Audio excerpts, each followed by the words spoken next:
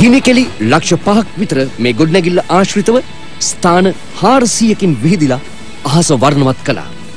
විනාඩි 6ක් තිස්සේ තිබුණු මේ අසිරිය ලොව විශාලතම ගිනිකෙලි සංදර්ශනයේ විදිහටයි වාර්තා පොත් අතරට